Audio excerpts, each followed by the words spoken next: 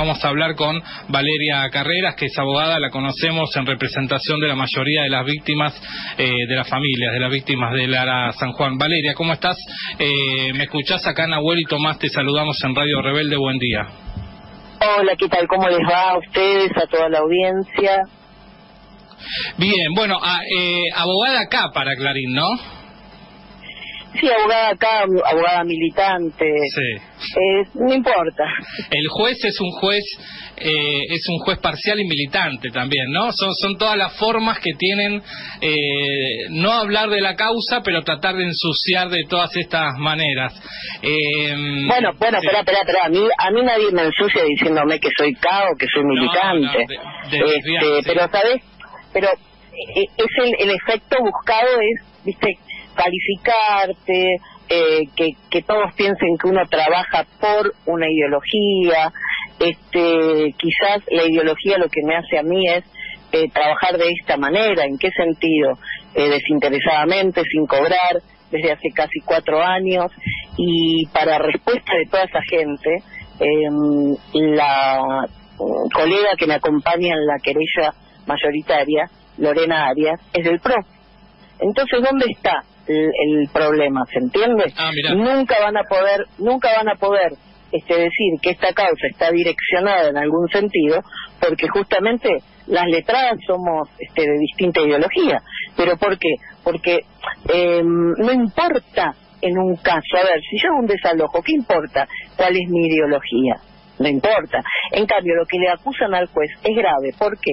Porque al, sindicarlo como un abogado eh, como un perdón como un juez proclive al gobierno eh, sí le están este, haciendo un cargo muy muy fuerte y que deberían probar decir que cuando esto es lo mediático que se dice no cuando vas a los papeles eh, se quedó sin argumentos la NUCE ¿por qué? y porque imagínate que dijo motivos de recusarlo no eh, dijo que no podía ser que fuera tan ineficaz el juez que si el día 6 de octubre le había dicho Camaño, la interventora del AFI, que el relevo del secreto era a través de el decreto presidencial o, o este, reservar las actuaciones en secretaría, si se decía algún tipo de, de, tema contemplado en la ley de inteligencia, ¿no? Este, entonces dijo era muy lento porque recién articuló el pedido del decreto el 28. Pasan dos minutos y dice, y aparte, el juez evidentemente es arbitrario y, y, tendiente a fin del gobierno este y todo esto lo hace por las elecciones porque rápidamente en un día obtuvo el decreto levantando el secreto. Entonces, ¿qué es? ¿Lento o es muy rápido?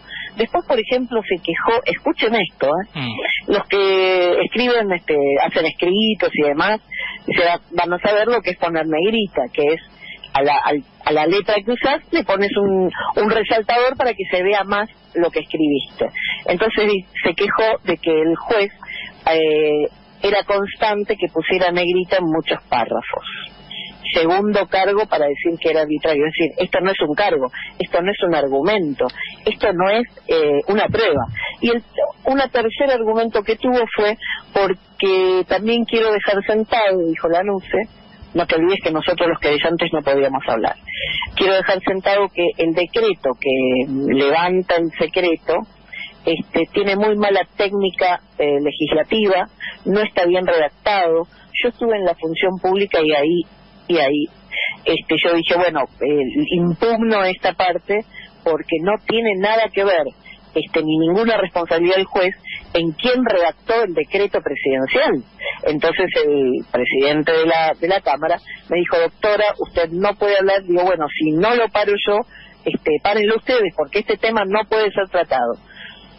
Bueno, me llamó la atención, yo me iba a tener que retirar de la sala, ¿no? La próxima vez. Este, así que la se dejó de hablar de la técnica legislativa, que por suerte... La anuncia el abogado de Macri, sí. Sí, de Macri, disculpa. Este, por suerte ya está disponible la grabación de esta audiencia, ah. con lo cual este no va a poder no se puede distribuir, ¿viste? Pero sí, si llega a decir, no, doctora, lo que usted dice no es así, sí, mira, es así, recuerda. Por ejemplo, eh, una de las cuestiones que, dijo es, bueno, yo vengo a demostrar, viste, vos tenés que llevar pruebas, que fue arbitrario porque mintió en un acta, ¿sí? El cual mintió en un acta, dice la NUCE. Entonces yo digo, pero ¿por qué la firmó la NUCE y Macri? ¿Por qué Macri este, firmó algo que teóricamente no había sido como dice el acta? Vos sabés muy bien que antes de firmar hay que leer, ¿o no? Sí, es la idea es la idea y para eso vos tenés un abogado al lado también. Sí. Este, así que eh, se tornaba, se caían, los argumentos se caían. Sin embargo, sin embargo, yo me di cuenta que al no permitirle eh, estar presente, eh, ejercer su derecho de defensa, o al menos presenciar la audiencia, no se lo permitieron al juez Baba. Es un mal, es un mal síntoma.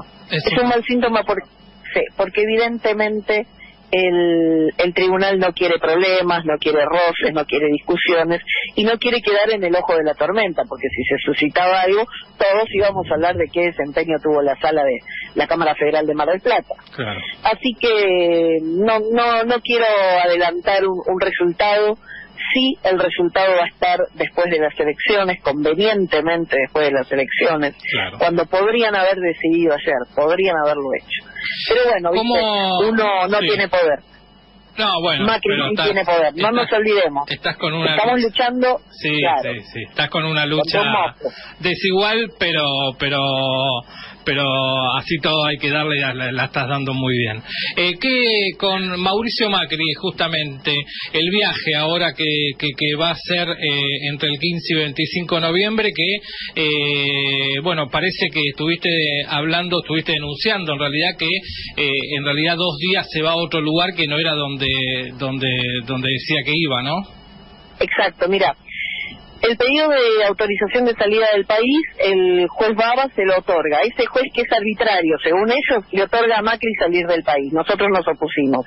Este, entonces le pide, como nosotros la querella, le pide, bueno, sí, pero presentame, lo, presénteme los pasajes, el lugar de estadía y el motivo del viaje. Porque vos sos un imputado, es decir, no puedo decir, señor juez, me voy de vacaciones, hay que decir un motivo. Bueno, el motivo eran motivos de gobierno, dice, escucha, de gobierno, cuando él no tiene ningún cargo, con el rey de Arabia Saudita, este, dirigido a la ciudad de eh, Rida, eh, a un hotel que se llama Hotel y Spa Narcisius. Eh, yo, viste, querría saber después cuál es la actividad gubernamental que seguramente aparecerá en las redes de, de Arabia Saudita, me imagino yo. Eh, pero, pero, pero, introduce en el pasaje una escala. No, vos sabés que de acá a Emiratos Árabes hay 37 horas. Entonces, obviamente tenés que hacer una escala. Pero cuando vos haces una escala que es dentro del aeropuerto, esperás cuatro horas o cinco tu otro avión, no pasa nada. Distinto es cuando la escala que propones incluye un hotel de cinco estrellas, dos noches en Qatar. En Qatar, te suena Qatar, ¿no? Qatar, el adelanto de Macri mientras estaba este, siendo citado por la justicia diciendo tengo actividades pendientes en Qatar por el tema fútbol. Este, ¿Cuál fue la excusa para decir que había un cambio en, la, en el itinerario? Bueno, este Macri y su defensor sostuvieron por escrito que era que no consiguieron otro pasaje este, ni otra escala. Entonces yo me metí en un, un portal muy conocido y aporté nueve pasajes con distinto tipo de eh, calidad, suponte en primera, business, eh, clase económica, em, con escalas este, em, más cortas, más largas, con tal línea aérea, con tal otra. ¿Por qué? Para que no me digan, ah, no, porque yo en esta línea aérea no viajo. Ah, no, porque si no es en primera no puedo. Ah, no, porque si son más de una escala no quiero. Bueno, este, le di todas las opciones y se lo denuncié, no al juez, porque el juez cualquier cosa que diga, el juez le van a decir que es arbitrario, cualquier cosa, ¿eh? este, hasta si dice eh, téngase presente, nada. Entonces se lo presenté al fiscal en el día de ayer, em, electrónicamente, ¿no? Por supuesto, no me iba a ir hasta Dolores, otra vez. Yo el martes me fui de mi casa y todavía no volví. Em, entonces se lo presenté, le acredité los pasajes, eh, disponibles, ¿no? Este, pasajes disponibles.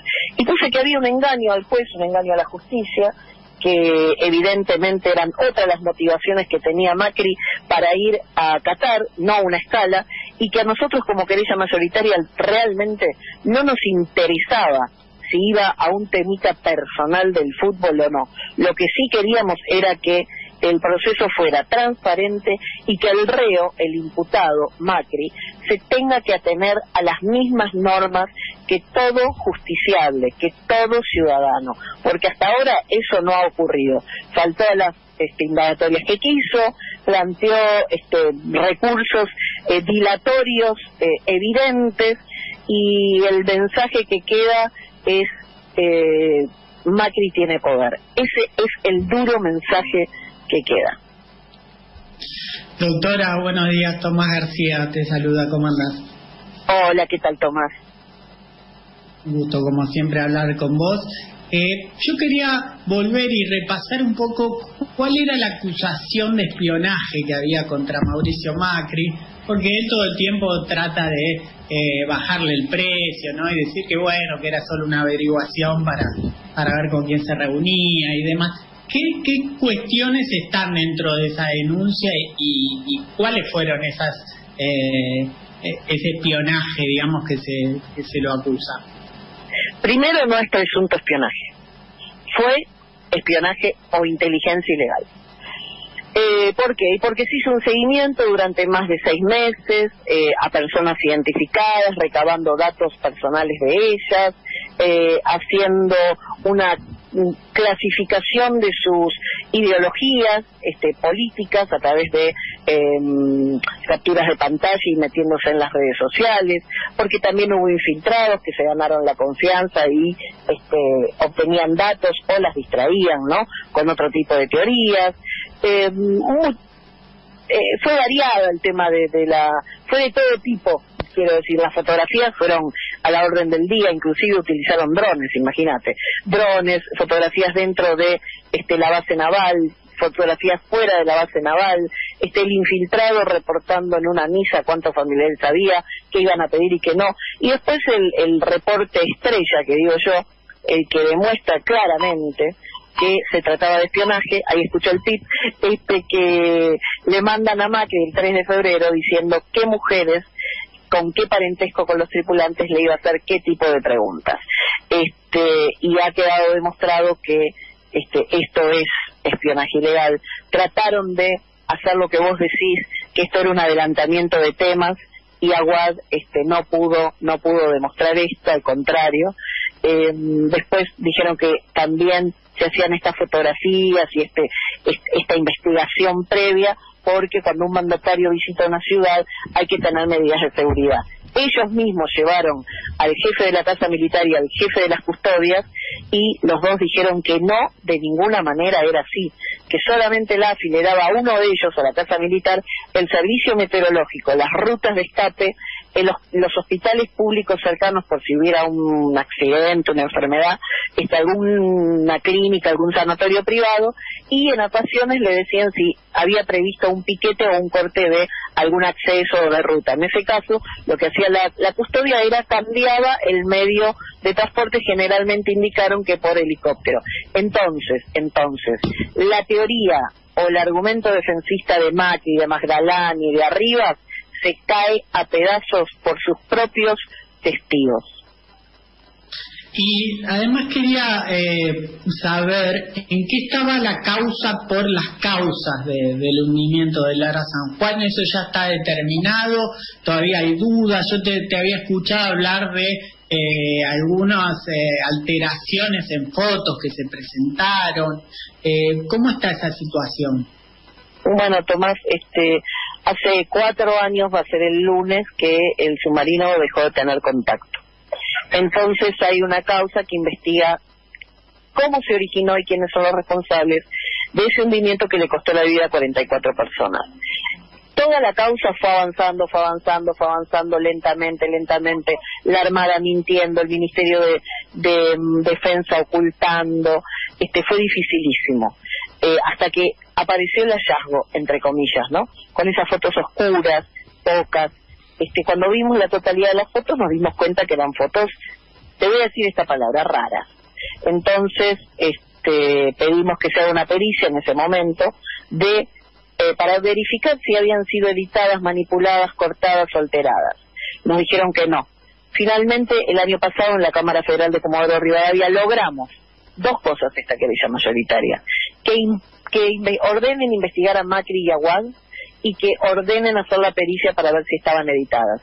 Esa pericia empezó el 4 de octubre de este año.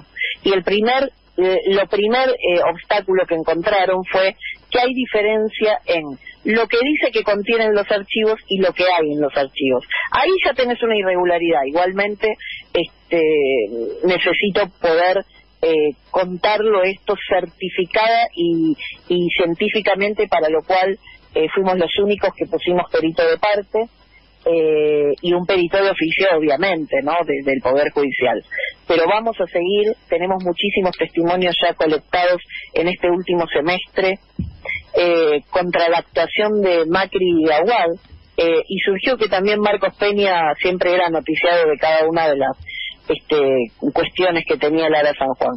Así que, viste, sé que va a ser lenta, porque date cuenta que si un desalojo a una persona eh, le tarda tres, cuatro años, eh, o un juicio laboral cuatro años, entonces este no puedo pretender ir más rápido estando em, el cuerpo del delito, como digo yo, a 900 metros de profundidad y con un con un enemigo dentro que es eh, toda la armada complotada con aquel gobierno de Mauricio Macri y Aguad eh, en ocultar pruebas, a tal punto que hay otra causa, iniciada también por esta querella, eh, por encubrimiento. ¿Y por qué por encubrimiento? Porque el año pasado, en esa audiencia larguísima en Comodoro Rivadavia, 27 horas duró, uno de los procesados confesó y dijo, bueno, nosotros el 5 de diciembre ya sabíamos dónde estaba la posición de Lara San Juan. y solamente nos faltaba hacer bajar un ROB para verificarlo. Este, así que quiere decir que siempre supieron dónde estaba y a las familias las hicieron sufrir, padecer y al pueblo argentino fuimos engañados y además se utilizaron fondos públicos, siete millones novecientos mil dólares, para el hallazgo, este, que en mi opinión es un hallazgo cuestionable, porque se encontró eh, un par de días después del aniversario, eh, por, por, un montón de cuestiones que ahora no te voy a estirar el programa en tanto, pero a partir de las imágenes vamos a poder dar una, una certeza absoluta. Valeria Carrera, como siempre te agradecemos tu generosidad con esta radio. Bueno, por favor, este, ya el nombre me, me pega, el nombre me pega bien. Ah, rebelde. La abogada rebelde entonces ahora. sí, sí. bueno, muchas gracias. Le mando un abrazo grande. Chao, hasta luego. Gracias por ocuparte del tema. Abrazo grande. Bueno, pasó Valeria Carreras, abogada de la mayoritaria de la querella de los familiares de la víctima de Lara San Juan.